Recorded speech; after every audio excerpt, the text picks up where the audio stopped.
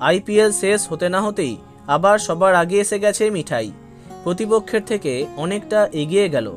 বলার দরকার নেই, এই মুহূর্তে মিঠাই ভক্তরা যতটা খুশি, ততটা খুশি আর কেউ নয়। গত সপ্তাহে সির মিঠাই অর্থাৎ আদ্রিত এবং সমিতিশাকে নিয়ে যে হারে নেগেটিভ খবর ছড়িয়েছিল, তাতে বেশ চিন্তায় ছিল মিঠাই প্রেমীরা। আদ্রিত সমিতিশার মনোমালিন্যের প্রভাব মিঠাইয়ের টিআরপিতে পড়বে না তো?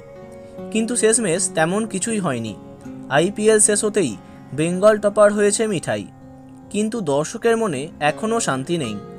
যবে থেকে তারা শুনেছে যে আদ্রিত এবং সমিতিশার মধ্যে বন্ধুত্বপূর্ণ সম্পর্ক আর নেই বা তারা কথাও বলছেন না, তবে থেকে তাদের মন খারাপ। কিন্তু অবশেষে মন ভালো করবার খবরটাও এসে গেল। এক্সক্লুসিভলি সেটা জানতে পারছ। আবার বেঙ্গল টপার হবার পরে মোদক বাড়িতে সবাই সেলিব্রেশনের মুডে চলে আসে। এই সময় ডিরেক্টর রাজেন্দ্র প্রসাদ দাস, আদিত এবং সমিতিশাকে একসাথে নিয়ে ছবি তুলে শেয়ার করেন। সোশ্যাল মিডিয়াতে সেই সমস্ত ছবি সামনে এলে খুশি হয় দর্শক। অনেক দিন পরে তাদের একসাথে দেখা যায়। তবে খবর এখানেই শেষ নয়। জানা গেল আবার নাকি তারা কথা বলছেন। আগের মতো বন্ধুত্ব এখনও না হলেও আগের মতো মনোমালিন্য আর নেই। আস্তে আস্তে হয়তো আবার সব কিছু ঠিক হয়ে যাবে।